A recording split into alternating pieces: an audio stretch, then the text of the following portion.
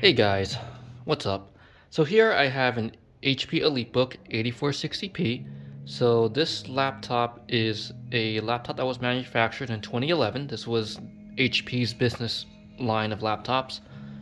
So this was um, a very solidly built machine at, at the time and still is today. This competed against the Lenovo ThinkPad T420, the Dell Latitude E6420, and a few others that I cannot name right now. Um, the condition of this thing is just absolutely fabulous for a computer that's 10 years old. Uh, there's like not a single scratch on there. And as you can see, the interior of the laptop, the keyboard is just super clean. There's no wear marks on there. The trackpad is really clean. Um, as a matter of fact, very clean. The Windows 7 and Core i5 badges are still there. Um, the palm rest is just extremely clean. Um, even like the edges of the laptop is just flawless. And what's amazing is that the battery still works. This is the original battery, mind you. Um, so uh, this laptop has 8 gigs of RAM, a 120 gig Samsung solid state drive. Uh, like I mentioned, Sandy Bridge Core i5 processor.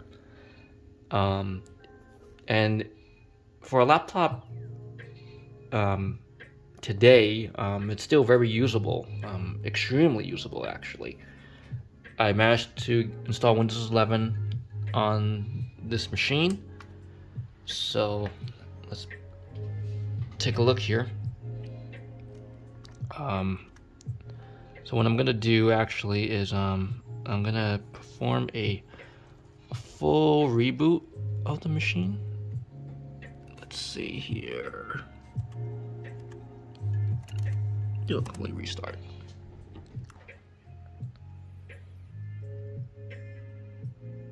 I mean, it's a very solidly built machine. Uh, if you're looking for a laptop um, that's not a Chromebook, um, but you're looking to pay about less than mm, $200, I would choose this.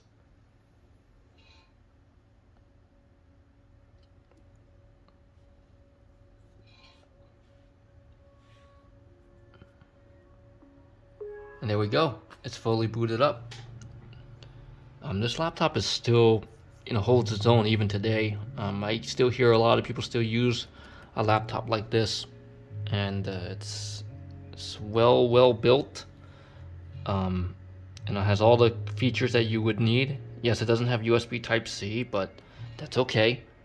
Um, for the basic average user I think this is plenty.